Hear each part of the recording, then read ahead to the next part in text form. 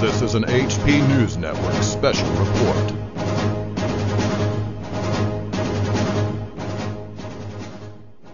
Okay, YouTubers and anti nuke activists, welcome to another HP News Network special report. This is your host, Hatrick Penry.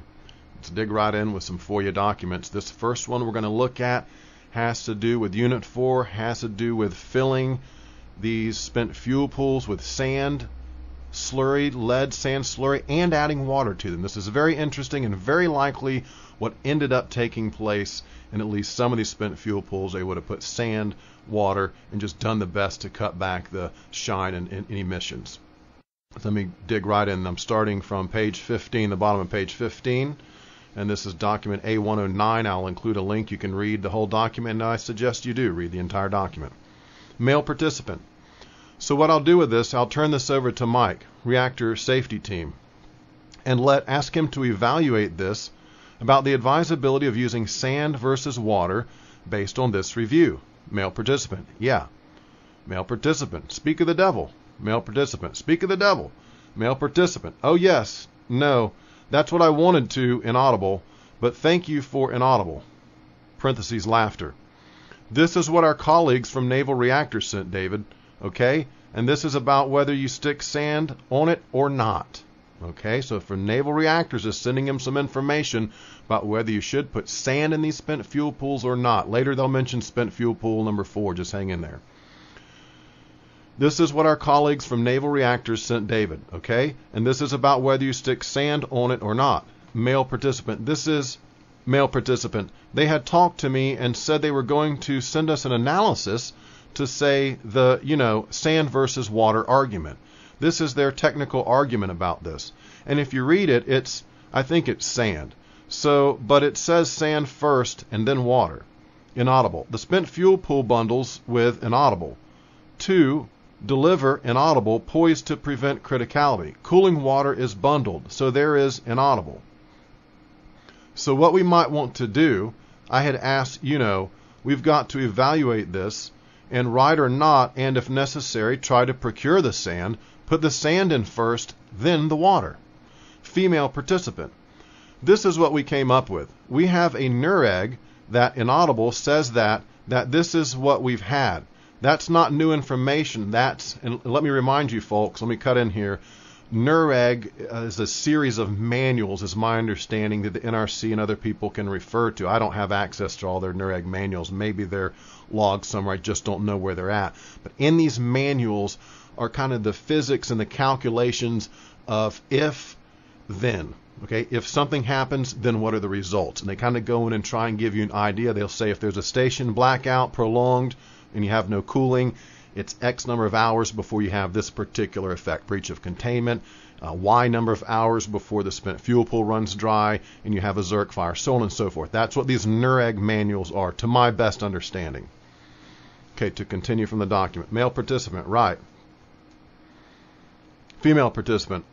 Also, what our fire people have been telling us every day, saying that male participant. The key word is female participant, this is analysis that we did for decommission of the spent fuel pool. And that was what the answer was sand.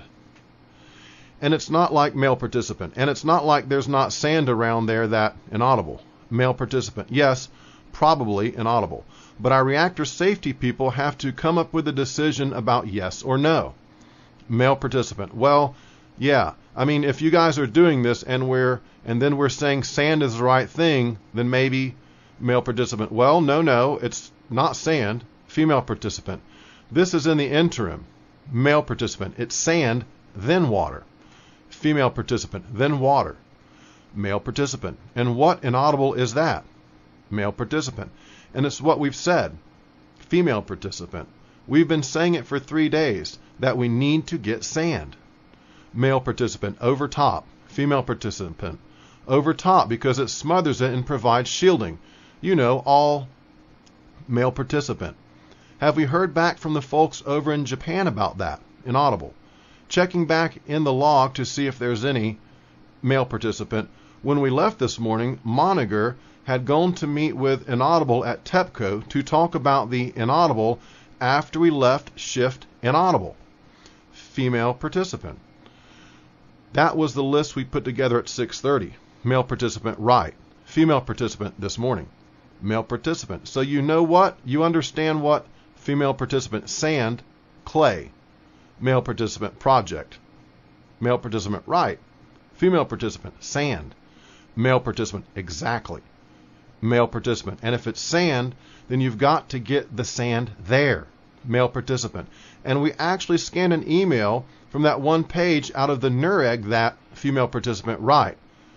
Male participant, all of that stuff. Female participant right. Our NUREGs are inaudible that option. We sent that to them at 6:30 yesterday. Male participant sent that to who? F- male participant sent that to Monninger to go with his meeting with with TEPCO. Female participant, yes. Male participant, okay. But what is surprising is we were on a phone call with them and they were saying water, not sand. Female participant, I'm just telling you what our recommendation was yesterday at 6:30 was sand. That's what. Male participant, it sounds like you need to get on the phone with him and hash this out. Male participant, that's why, that's part of why I'm asking for information because male participant, hash it out with the people in country. Male participant, yes. Female participant, okay. Male participant, with Monninger and Altson, phonetic it says, Altson, and male participant, the going in question was Monninger had called us up and said, quote, we're going to meet with them in 45. We're leaving in 45 minutes, end quote. Female participant, right. Male participant, quote, and what they've told us is, end quote. And that's where we got that unit four was dry, was from that conversation, and that this was, you know, you've got a dry pool again, no water female participant. And we called back to NRRs and Audible. As a matter of fact, I think we called all of them. We robo dialed them yesterday, and every single one of them, the first thing that came out of their mouth was quote unquote sand. And that's also consistent with NUREG 1333. That's the manual I'd like to see, ladies and gentlemen. NUREG 1333, which we have, but it specifically deals with disasters for spent fuel pools. I mean, I like that analysis, but that's not telling us anything we don't already know. Male participant. And we use this as confirmation. Female participant, right. Male participant. Well, the question is it's great that we're working on these pumps in the water and boron, get somebody working on sand. Male participant, right. Japanese, inaudible. Female participant. That was our next inaudible is call and male participant, and you need to get sand. Okay, and that's where I stop on this reading. And I want to back up just a little bit here. Let me scroll back up my screen. I want to read that to you again. Male participant. He's, he's referring to John Monninger's statement. He's spoken with John Monninger. They've heard him on the phone. And Monninger is embedded with TEPCO officials. He's very close in. He, he's hands on hearing it directly from the TEPCO guys. So this call is in question. What Monninger's telling them is going to a meeting, and and here's what's going on. He says the going in question was Monninger had called us up and said we're going to meet with them in 45, TEPCO and other officials, and we're leaving in 45 minutes. Female participant, right. Male participant. And what they've told us is, quote, he's referring to Monninger saying this, and what they've told us is, and then this guy goes on to say, and that's where we got that Unit 4 was dry, was from that conversation and that this was, you know, you've got a dry pool again, no water. So that's what this whole thing is about. They know that pools run dry early on. This is the 17th. They're delaying, they're, they're stalling, they're dragging feet because these guys are like, hey, we need to get sand. What are we doing? Let's acquire the sand. If we're going to do sand, let's get to work on it, you know. Because time is of the essence here, folks. So I certainly hope you see again, this is clear indication consistent with everything else we've seen Unit 4 ran dry, and not only ran dry, but it was damaged to the extent that they're not just kind of considering sand. This is pretty much a, you know, looks to me like they're definitely going to do sand. And it seems to me like the process is, I'd like to read this NUREG 1333 manual, but it seems to me you fill it with sand and chunks of lead, and then slowly you add water. There is plenty of discussion in these documents that if you just pour water on that heated fuel, on that pile of rubble, you're going to have an incredible source term. In other words, an incredible emission of radioactivity will be released. So this NUREG manual's kind of giving them advice. Now there's covers over these pools now, and I put it to you, they could have debunked me a long time ago. They could have debunked Hatrick Penry on this one a long time ago. Of course, I'd be happy if they did. Uh, that would be great news to know they really are removing the fuel out of Unit 4. But I just have seen zero zip indication of that in these documents at all. John Monninger, embedded with TEPCO, is giving us the straight dope, as they like to say it these days, the, the truthful, accurate information directly from TEPCO. Fact. Okay. Now, throughout this reading, I'll be flashing some TEPCO pictures of the damage of the units at Fukushima. That's uh, appreciation to Miss Milky the Clown who posted up a link to that.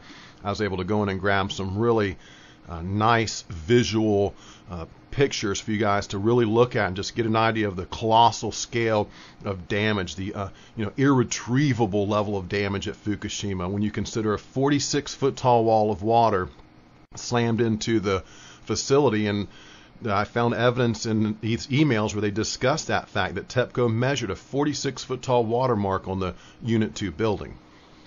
Okay, we're looking at a document now that is from Sunday, March 20th, 2011. Sunday, March 20th, 2011. This is, I'm reading this one because recently, as you guys know, I'll include a link to this story. This case of the Navy sailors has been thrown out of court as they're trying to sue TEPCO.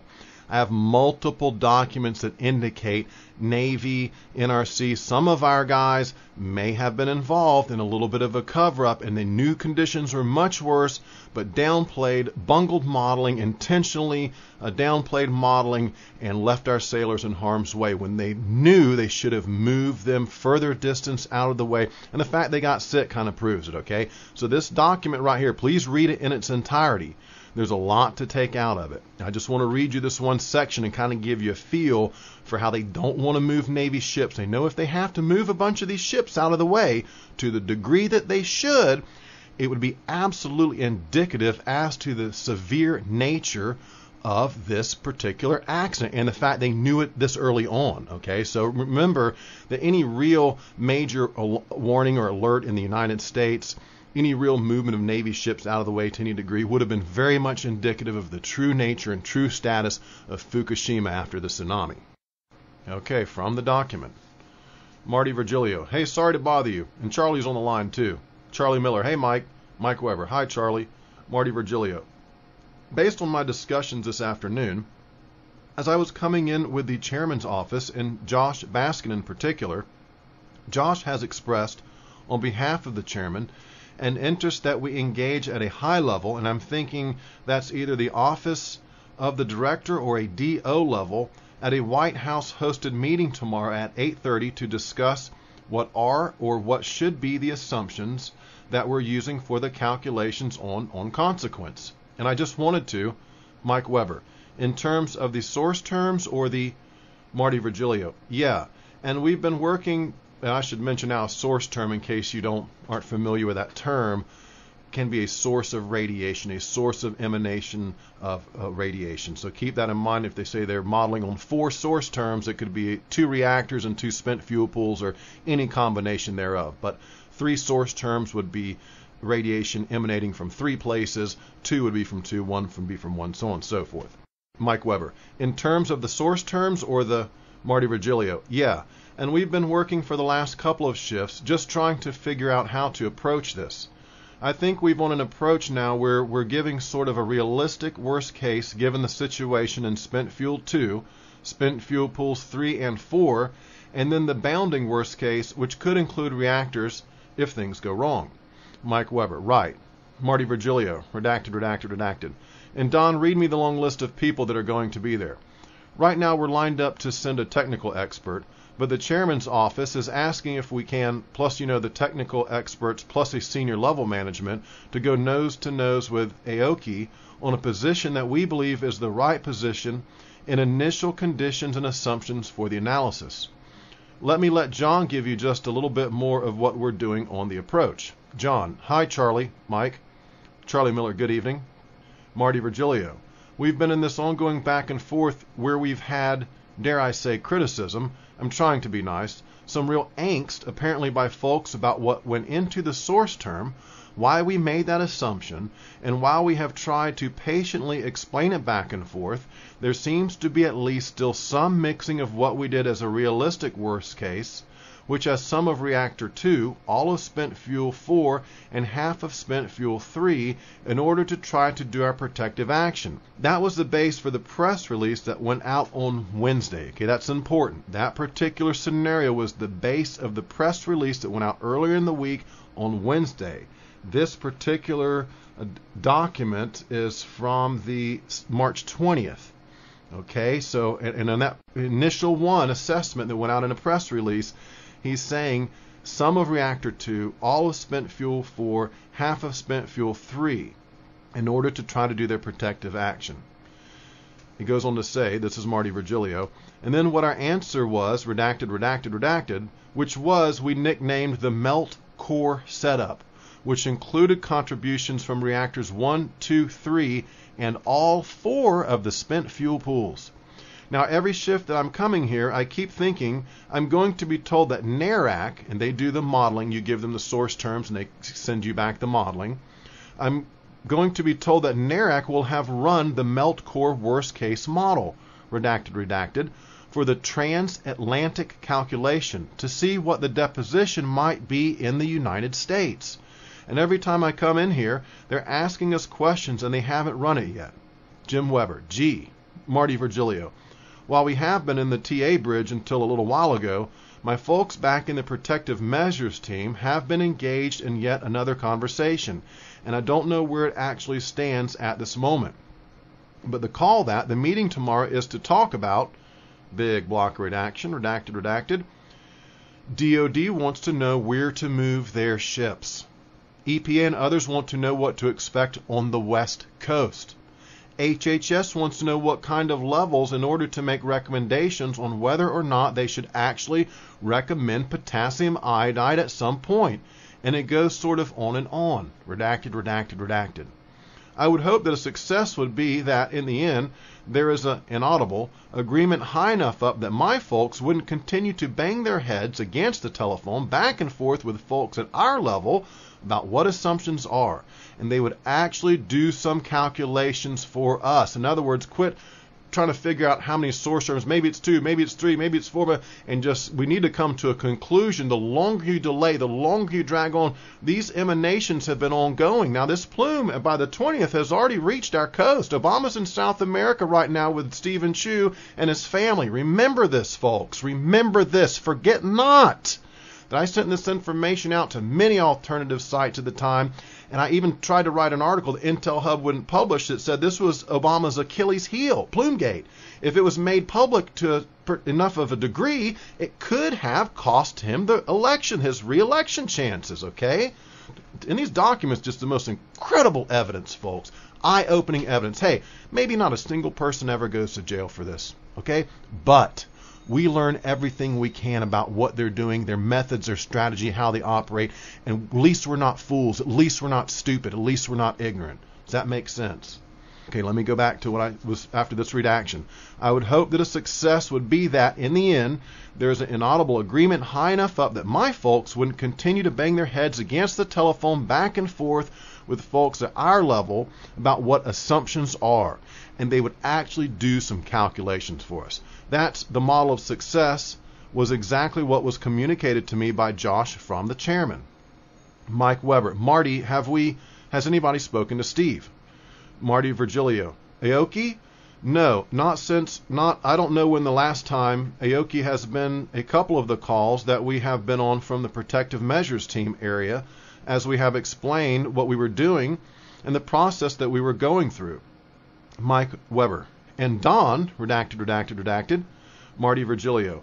We have provided him at least three and four times that I've been personally involved in. Charlie Miller, Mike, redacted, redacted. Mike Weber, redacted, redacted. Charlie Miller, yes. Mike Weber, so he knows about that request.